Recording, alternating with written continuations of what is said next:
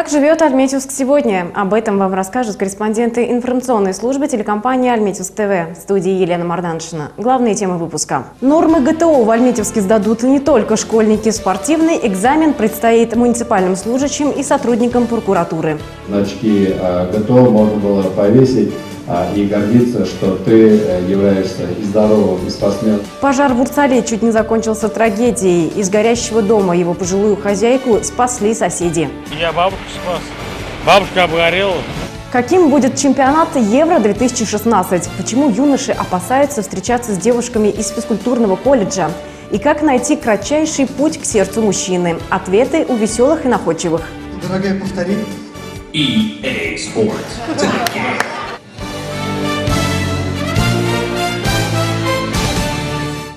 Сегодня в Альметьевске с участием заместителя премьер-министра Татарстана Василия Шейхразиева прошло кустовое совещание по реализации Всероссийского физкультурно-спортивного комплекса «Готов к труду и обороне». До начала совещания его участники ознакомились с организацией сдачи норм ГТО на базе 16-й школы. Они посетили профессиональный тир, бассейн, спортивные залы – Руководитель исполкома Альметьевского муниципального района Айрат Хайрулин отметил, что здесь созданы все необходимые условия для успешной сдачи физкультурно-спортивного комплекса. Также на совещании было объявлено, что все муниципальные служащие района, не имеющие ограничений по здоровью, примут участие в сдаче норм ГТО в конце мая. Также будет проведено тестирование по пяти видам нормативов ГТО среди сотрудников Альметьевской городской прокуратуры. Как в свое время а, период Советского Союза а, и бронзовую, и серебряную, и золотую значки а, ГТО можно было повесить а, и гордиться, что ты э, являешься и здоровым, и спортсменом, и готов к труду и защите своей страны. А некоторые армейцевцы уже получили награды за успешную сдачу ГТО. Армейская служба их ждет только через полтора года, но уже сейчас они хотят знать, что их ждет в рядах вооруженных сил. Будущим солдатам обо всех тонкостях военной службы рассказали на празднике призывника. На встречу пригласили не только молодежь, но и ветеранов Великой Отечественной войны, родителей солдат-срочников. Встреча получилась торжественной и теплой. Первым на сцену пригласили Вадима Ашалова. Мужчину наградили медалью его покойного деда Ивана Степанова. Правнук на протяжении пяти лет искал хоть какую-то информацию о гибели своего прадеда, и ему это удалось. И вдруг у меня раз я набираю своего деда просто в интернете, в Яндексе. И у меня выходит, что поисковики э, «Совесть», э, поискового отряда «Совесть», там под руководством Кисамова Руслана, нашли медаль. Дипломами, кубками и денежными сертификатами наградили команды, которые показали лучшие результаты по сдаче норм ГТО. По словам самих студентов, нормы ГТО дают им представление о том, что ждет их в армии. Лучше всех их сдали студенты колледжа физической культуры. Второе место занял Институт муниципальной службы. На третьем месте оказались юноши из Альметьевского филиала Института экономики, управления и права. Пойду в армию, защищать Родину как-никак. Каждому человеку, каждому мужчине уж надо уважающим свою родину. Горячими аплодисментами зал приветствовал родителей солдат, сыновья которых проходят службу или недавно вернулись из армии. В числе награжденных – семья Авдеевых. Супруги воспитали двоих сыновей. Старший пришел из армии год назад, младший еще служит в десантных войсках. Родители с гордостью рассказывают о том, что их сын Александр 9 мая примет участие в параде, который пройдет на Красной площади в Москве. Поддержать молодое поколение пришли и ветераны Великой Отечественной войны. Они напутствовали будущих воинов, пожелали новобранцам служить честно, добросовестно и почаще писать и звонить своим родителям. Алсу Гатаулина, Илькам Ахмедзянов, Альметьев ТВ. Комсомол возвращается, но с другим названием и идеями. Так считают альметьевцы, которые когда-то сами были комсомольцами.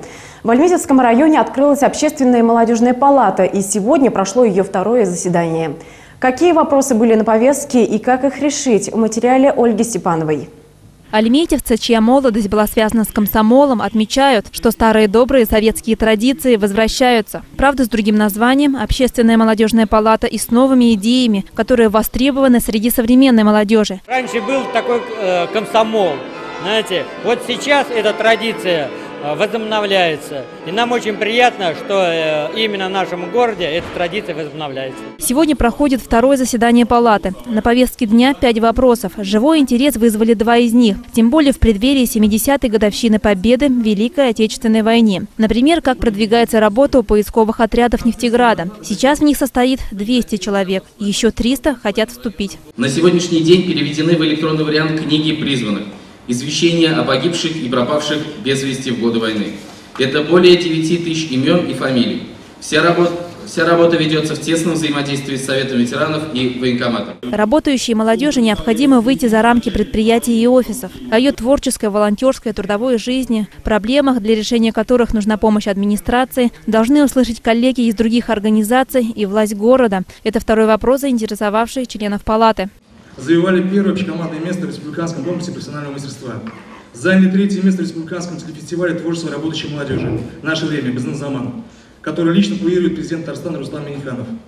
Третий год подряд мы организовываем республиканский туристический фестиваль «Легенды лета», посвященный памяти героя Великой Отечественной войны Александра Герасимовича Батурина. Не остались без внимания и студенты. Председатель городского студенческого совета впервые пришел на заседание палаты, и у него уже есть идеи и проблемы, которые требуют скорейшего решения. Он уверен, совместными усилиями все разрешится. Проблемы есть очень различные, будем решать с помощью различных проектов, а, будем работать совместно с региональной молодежной организацией Лига студентов Республики Татарстан, совместно с Управлением по делам детей и молодежи и также совместно с Молодежной общественной палатой города Альметьевска. Насколько плодотворной будет работа общественной молодежной палаты, покажет время. И, возможно, в ближайшем будущем она станет движением, которое объединит тысячи молодых людей. Ольга Степанова, Илькам Ахмедьянов, Альметьевск ТВ. Вспыхнул как спичка, в Урсале загорелся деревянный дом. Хозяйку, 87-летнюю бабушку, спасли соседи. Она была срочно госпитализирована в больницу. Все подробности с места происшествия у нашего корреспондента. Первыми тревогу забили соседи. Горел деревянный дом, в котором живет 87-летняя бабушка. Но самой бабы Нины не было видно ни во дворе, ни на улице. Соседи спешно вызвали на место пожарных и скорую помощь. Мы строили дом свой, делали, и под... стало возгорать пламя, дым, просто дым. И тут э, сразу 112 вызвал я. Пока ждали пожарные расчеты, сосед Радик, рискуя жизнью, бросился в огонь. Из горящего дома мужчина вынес бабу Нину. Бабушка была в сознании, но получила серьезные ожоги. Я бабушку спас. Бабушка обгорела. Ну, состояние бабушки по приблизительным показаниям врачей, ну, где-то ожогов 25 спины, бедер. Состояние удовлетворительное. Увезли в медсанчасть города Альметьевска. Позже на место приехали родственники. Дочь рассказала, что бабушка всегда аккуратно обращалась с огнем. Даже несмотря на свой возраст, была в здравом уме, не страдала забывчивостью и мечтала встретить День Победы на параде. Сосед, сосед напротив, спасибо им большое. Если бы не он, она бы сгорела полностью. А она участник Великой Отечественной войны или труженик тыла? Труженик тыла. Работники газовой службы обесточили дом. Версию, что причиной пожара могло стать неисправное газовое оборудование, отмели сразу. Пожарные выдвинули свою, пока предварительную версию. Предварительная началась со стороны кухни, предполагаем, короткое замыкание. На тушение пожара были задействованы 15 сотрудников пожарных частей номер 15 и 65, а также 6 единиц различной техники. За 15 минут с огнем удалось справиться, а за жизнь бабы Нины сейчас борются врачи. Ольга Степанова, Эдуард Прокопьев, Альмедьевск ТВ. К другой теме. 17-я школа попала в программу «Доступная среда». На оборудование здания элементами доступной среды будет выделено около 1 миллиона рублей. Эта информация пока предварительная, официальные объемы на сегодняшний день не утверждены. Также сообщается, что в 2015 году в Альметьевске продолжится федеральная программа по адаптации пешеходных переходов. Это значит, что в нашем городе будут устанавливаться звуковые светофоры. Они позволят свободно передвигаться по городу инвалидам по зрению. В Альметьевске оборудуют 22 пешеходных перехода. Жители Альметьевска и гости города смогли увидеть уникальные музейные экспонаты. Все они – дисковый магазин к пистолету-пулемету ППШ-41, пистолет «Вальтер» модели ППК, химический карандаш, тюбики от зубной пасты времен Великой Отечественной войны, германская ложка-вилка, разные модели касок, как немецких, так и советских, были найдены при раскопках. Выставка работала только один день в холле драматического театра. В прошлом году, в октябре месяце, курсанты, поисковый отряд нашего института ездили в Смоленскую область, город Ельня, где они участвовали в перезахоронении солдат войны, погибших в 1941-1942 годах. Кстати, именно там воевали две дивизии, которые были сформированы в Татарстане, в городе Бугульме и в Высокогорском районе. В этот же день на сцене драматического театра курсанты и сотрудники Казанского юридического института МВД России дали большой концерт. Посвятили его 70-й годовщине победы в Великой Отечественной войне. Концерт был в два отделения. В первом представлены военные номера. Зрителей порадовали такими известными песнями, как «Пропавшим без вести» или «Тучи в голубом». Во втором исполнены современные лирические композиции. Также этот концерт увидят жители набережных Челнов и Нижнекамска.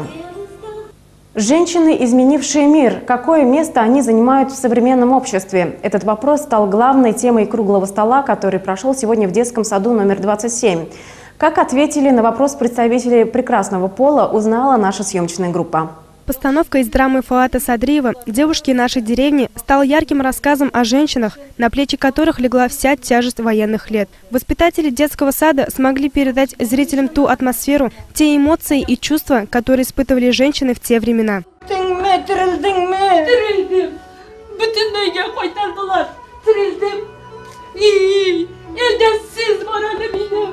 Семьдесят лет спустя, после победы, мнения женщин разошлись. Одни считают, что их главная и достойная роль – роль любящей жены и заботливой матери, а другие, наоборот, видят себя в бизнесе, в науке, в политике. Идея круглого стола, на котором центральной темой стала роль женщины в обществе, заинтересовала многих заведующих детскими садами, воспитателей, журналистов, представителей религиозных общественных организаций. Задача педагогов э, дошкольного образования на сегодняшний день состоит в том, чтобы повысить э, семейные ценности, э, помогать молодым семьям в воспитании детей, а также помогать семьям в приобщении детей к народным традициям, к народной культуре и, конечно же, сохранению и укреплению родного языка. Женщинам во время войны было нелегко выполнять всю мужскую работу и растить детей – и как они при этом сохранили свою красоту, привлекательность. Этот вопрос тоже прозвучал во время круглого стола. Ответ на него можно найти в духовной литературе, считает руководитель женского отдела Альметьевского Мухтасибата Найля Зиадинова.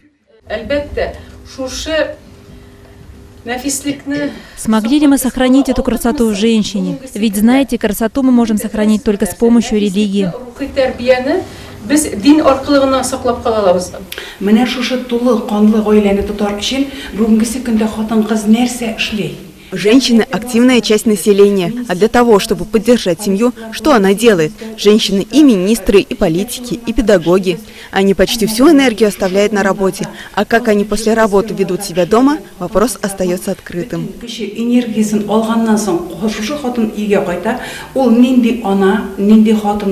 Сила женщины в ее слабости и женственности. Эти качества нужно воспитывать с детства, а мальчиков учить быть настоящими мужчинами. К такому выводу пришли участники круглого стола. Алсу Гатаулина, Илькам Ахмедянов, Альметьевс ТВ. Об отношениях мужчины и женщины говорили немалые участники студенческой лиги клуба «Веселых и находчивых». Финальная игра прошла в Альметьевске на днях. Этот финал необычный. На празднике смеха и веселья нашлось место и легкой грусти. Все потому, что этот выход для некоторых КВНщиков стал последним в составе коллег по сцене, которые за долгие годы стали как одна большая семья. Они убеждены, в жизни много смешного. И то, как иногда складываются отношения юноши и девушки, и то, как живут студенты, как проводят свободное время и чем интересуются. Финал студенческой лиги КВН прошли четыре команды физкультурного и музыкального колледжей, Альметьевского филиала КАИ и гости из набережных Челнов, Технас. У каждой команды своя фишка, что отличает ее от других. К примеру, студенты-физкультурники знают как никто другой, что опасно обижать девушку из их колледжа. Дорогая, нам надо расстаться. Что ты сказал?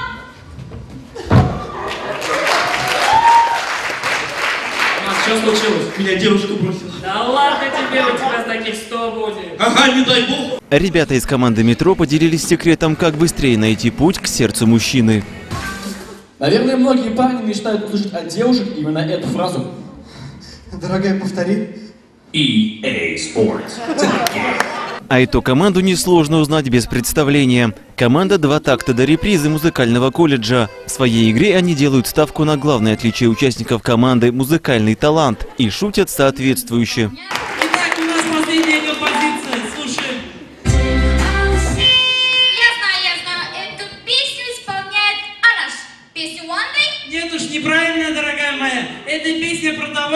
которой не хватает двери.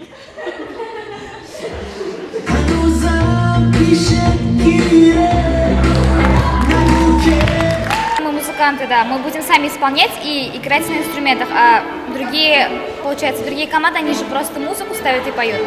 Вот. У нас есть такое своеобразие. Из простых вещей складывается жизнь. В шуточных миниатюрах многие узнавали себя. Или друзей и близких, или соседей по лестничной клетке. А, наверное, в каждом дворе есть такой мужик, который помогает парковаться. Давай, давай, давай. Давай, давай, давай. Так, все, сынок, мне это надоело. Ты наказан и сидишь дома. Роза любит воду, пацаны, свободу. Что? Ты мне совсем в последнее время не нравишься. Если я тебе не нравлюсь, ты смирись, я не исправлюсь. Да ты где таких слов понабрался? Ты ведь только в восьмом классе учишься. Жигули, пивасик, даст. Я иду в девятый класс. Для команды «Метро» КАИ – это заключительная игра студенческой лиги. Потому к выступлениям готовились особенно старательно и даже поделились планами на ближайшее будущее. Ну, это маленькая жизнь. Для меня это способ выразить себя, показать всем свои эмоции. Хороший путь развития каких-то навыков. В результате третье место досталось команде физкультурного колледжа, второе разделили Технас и Метро, первое место завоевала команда «Два такта до репризы» музыкального колледжа. Сезон удался, в этом мнении сошлись все любители вечно молодой игры. А еще в очередной раз убедились, КВН в Альметьевске может удивлять и новыми шутками, и новыми персонажами. Эдуард Прокопьев, Елена Марданшина, Альметьевск ТВ. 1 мая открывается летний сезон в городском парке имени 60-летия нефти Татарстана. Творческое объединение «Академия праздника» и телекомпания «Альметьевск ТВ» при поддержке НГДУ «Альметьевнефть» и благотворительного фонда «Парк культуры и отдыха» проводят конкурсы украшенных зонтов. «Парк моей мечты», украшенных транспортных средств «Транспорт будущего», костюмов «Лучший сказочный костюм», а также конкурс чтецов – Тема стихотворений «70-летие Победы», «Год парков и скверов», «Год литературы». По вопросам участия обращайтесь в Академию праздника по адресу город Альметьевск, улица Мусы Джалиля, 29, телефон 45 77 89. Приходите, будет весело, начало в 11 часов. Генеральный спонсор – лечебно-диагностический центр «Биомед». Официальные спонсоры – автосалон «Акос» и «Новая стоматология». И это все новости на сегодня. Эфир канала продолжит прогноз погоды. А я с вами прощаюсь. До встречи в эфире на телеканале «Пятница Альметьевск».